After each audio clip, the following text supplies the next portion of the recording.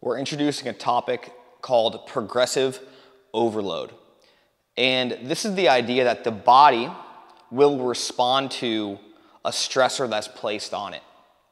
And so if I apply 10 pounds of weight uh, to my left thigh, and I'm challenging that muscle, my, my quadricep, um, in the future, my body knows that it needs to be ready for that load. It thinks it's coming again.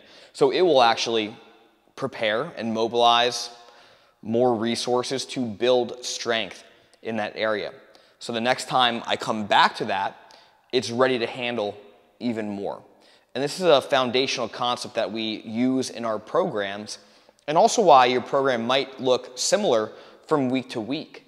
Because to see an adaptation or change in the actual muscle or body, we need to progressively overload the tissues that we are trying to strengthen. And this is why actually doing the same weight, the same reps, the same exercise uh, can be good or bad.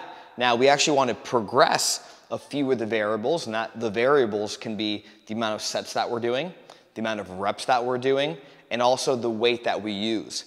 When we adjust one or two of those variables, we're actually applying more stress to the system to elicit the adaptation that we want, which might be strength, power, or actually the, the size of the muscle that's called hypertrophy.